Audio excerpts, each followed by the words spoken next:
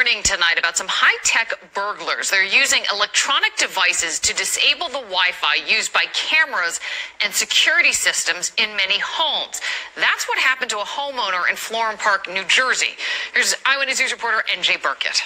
The thieves spend days staking out the neighborhood, watching who comes and goes and when.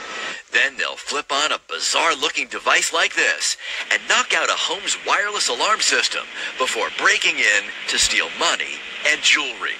It happened just this week to a resident in Florham Park, New Jersey. He was in his house, and the uh, the suspect came up and forced his way into the resident's home. Lieutenant Brian Ford says the thief was scared off and the resident was not injured.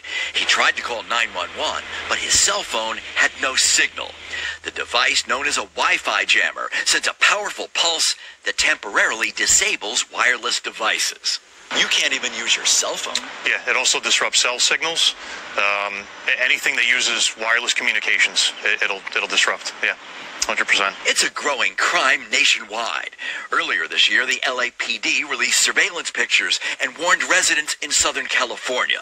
Former NYPD Chief of Detectives Robert Boyce. It started in Southern California and it's made its way over here. Generally speaking, they're all in, in, uh, in affluent neighborhoods because that's where the money is, they believe. Jewelry and things like that they can quickly grab. Ronnie Parlin has lived in Florham Park for more than 40 years. If they are disabling our equipment in the house, our Wi-Fi that enables us to have be able to call 911. Where does it leave us? It's really, it's really scary. Ronnie tells me she feels a little safer because she still has a landline phone that's invulnerable to these Wi-Fi jammers. Police say it's a good idea to have one of those anyway, but the best advice is to stay alert, be vigilant in your own neighborhood spoke with a woman who says her SUV was stolen right out in her driveway. And when she went back to look at her ring camera footage, hours were missing at the same time her car was stolen. And I spoke with a local technology expert who says that was not a coincidence. You see them on almost every block a ring, or some form of doorbell camera system. The small home security device gaining significant popularity over the last decade. But as their use has grown, so has the ability of hackers. If you're relying on wireless to be a security thing, you're looking at wrong. Chris Burns, the owner of Techie Gurus, says security cameras that use Wi Fi to record are more about convenience than actual security because Wi Fi can be easily disrupted, preventing the camera from capturing who is around your home.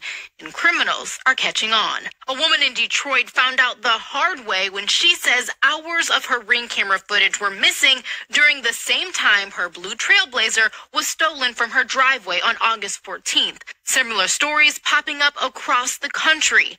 And Burns says he knows why. Wireless signals are very easy to jam or block by using a deauther or Wi Fi jamming device. Like this one right here. A deauther, which can be the size of an Apple Watch, will overwhelm a Wi Fi system, forcing the doorbell camera to stop recording if you stand close enough. The accessory only costing about 10 to 50 bucks and can be found on Amazon. But a jammer is going to cost you maybe 150 to $1,000 depending on what you're trying to do. And it's highly illegal, so it's more difficult to find. But a powerful jammer can prevent an entire street from recording on its doorbell security camera with the switch of a button. We reached out to Ring about the issue, and a spokesperson sent a statement saying, quote, like any Wi-Fi enabled device, Wi-Fi signal interference may affect Ring device performance. If customers are experiencing issues with connectivity, we encourage them to reach out to Ring customer support. So, how can customers protect themselves? For true security, it should always be hardwired. It should always be plugged into like Ethernet or something like that.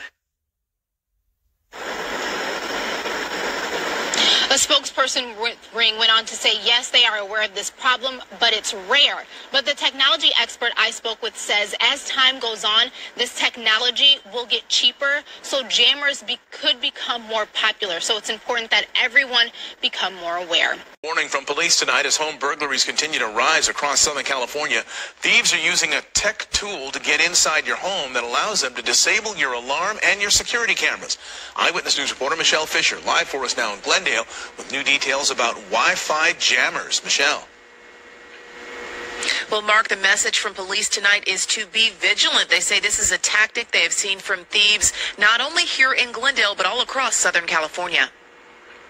Glendale is a very safe city. But tonight, a warning from Glendale police about Wi Fi jamming devices, technology that could make your home a target for thieves. It's a device that blocks the signal or scrambles your Wi-Fi signal. So if you have a Ring camera, a Nest camera, any kind of alarm system that is Wi-Fi based or a camera that's a Wi-Fi based, b- blocks the signal and knocks it out. A disproportionate surge in residential burglaries across Glendale and Southern California in the fall, leading investigators to the crime trend.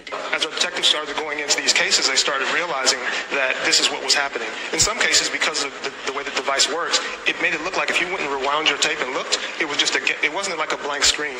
It looked like it was seamless. It just didn't exist in there. So there was no evidence. Police say you can beef up security around your home by hardwiring alarm systems and cameras, using backup batteries in those devices, installing sturdy locks on security gates, enhancing exterior lighting, securing windows and balconies, and having a trusted neighbor or house sitter look after your home when away. The department's residential burglary task force too helpful in lowering the number of break-ins. Patrol officers, our motor officers, our special enforcement detail, our detectives, we had them undercover in the area, and we saturated the area.